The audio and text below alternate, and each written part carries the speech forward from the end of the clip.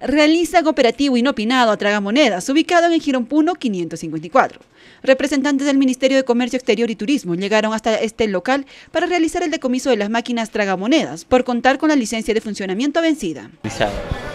Bueno, esto, estamos en aproximadamente algo de 5 mil soles aproximadamente. ¿Con cada máquina? Así es.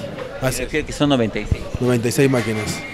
¿Y este partido se hace tras de una denuncia o de oficio? Sí, una, una coordinación con Mincetur de Lima se ha hecho unas coordinaciones, ¿no?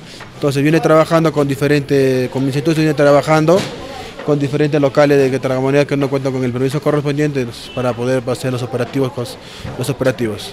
En total fueron 96 máquinas decomisadas de la sala de juegos Paradis, valorizados en más de 943 mil soles, según el oficio emitido por la Dirección General de Juegos de Casino y Máquinas Tragamonedas del Ministerio de Comercio Exterior y Turismo. La autorización de este local venció hace tres meses. Se ha hecho una coordinación con Minsectur de, de Lima, hay locales de, de juegos de azar, tragamonedas, los de casinos que no cuentan con el permiso correspondiente. Entonces se ha hecho una coordinación con Minsectur de Lima y nos han oficiado que este, este tragamonedas ¿no? que no tiene permiso correspondiente y se ha procedido a la intervención del local ¿no? y a la incautación de, los, de las máquinas de juegos de azar.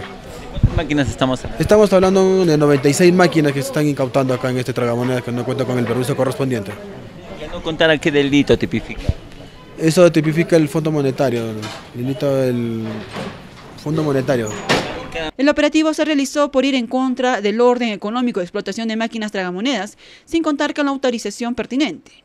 Todo lo decomisado fue llevado en dos camiones hasta el depósito del Mincetur. Asimismo, se informó que la mayoría de tragamonedas no cuentan con la licencia de funcionamiento.